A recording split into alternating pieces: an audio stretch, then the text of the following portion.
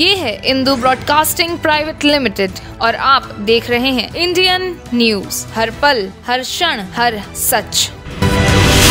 Cabinet मंत्री गुरु रुद्र कुमार अहिवारा के ward आठ स्थित स्वामी आत्मानंद स्कूल पहुँच वहाँ विज्ञान प्रदर्शनी का अवलोकन किया। पीएचई मंत्री गुरु रुद्र कुमार अहिवारा पहुँच नवनिर्मित स्कूल का उद्घाटन किया और छात्राओं को सरस्वती निःशुल्क साइकिल योजना के तहत साइकिल का वितरण किया।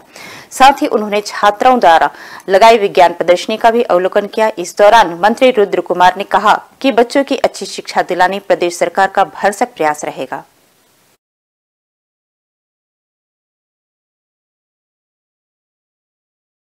अहिवारा में, अहिवारा नगर में स्वामी आत्मानंद स्कूल को सर्व सुविधा युक्त बनाते हुए यहाँ का ना लोकार्पण किया गया है। हमारे बच्चों को, यहाँ के और आसपास के बच्चों को एक अच्छी और उच्च शिक्षा, और शिक्षा प्राप्त होगी।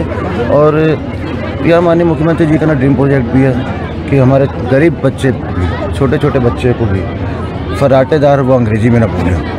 यहाँ पे सबको एडमिशन मिलेगा और यहाँ पर पढ़ाई अच्छे से होगी। इसके लिए हमारे तरफ़ से सभी को बधाई, साथ ही साथ अहिवारा में भी और जामुल में भी विभिन्न वार्डों के विभिन्न विकास कार्यों का भूमि पूजन एवं लोकार्पण किया गया है, जिसके लिए मैं सारी जनता को अपनी तरफ़ से बधाई देता हूँ न्यू वीडियोस की अपडेट पाने के लिए सब्सक्राइब करें इंडियन न्यूज़ को और बेल आइकन को दबाएँ।